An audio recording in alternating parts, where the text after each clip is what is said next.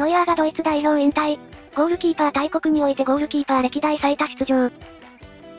ドイツ史上屈指のゴールキーパーは21日、自身のインスタグラムを通じて代表引退を発表した。ドイツ代表のユニフォームを着るのが大好きだった。本当にありがとう国内屈指の名門シャルケでは隠して守護神の座を獲得したノヤーは2009年6月に行われた UAE 代表戦でドイツ代表デビュー。その翌年に行われた2010年南アフリカワールドカップで正ゴールキーパーを務め、3位入賞に貢献。以降は絶対的な守護神に君臨し、ユーロ2012を経て2014年ブラジルワールドカップでは優勝を経験した。同大会後にキャプテンに任命されると、ユーロ2016、2018年ロシアワールドカップ、ユーロ2020-2022年カタールワールドカップ、先のユーロ2024まで全ての国際主要大会に出場。通算124キャップは歴代5位の数字で、ゴールキーパー大国においてゴールキーパーとしては歴代最多出場記録を保持している。くそお疲れ様でしたドン。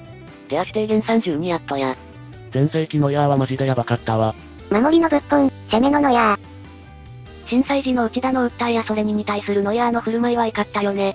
足元のプレー集があるゴールキーパー。ブラジル戦大差リードになっても唯一気を抜かずに失点時に怒りを見せた選手。J リーグに来てくれねえかな。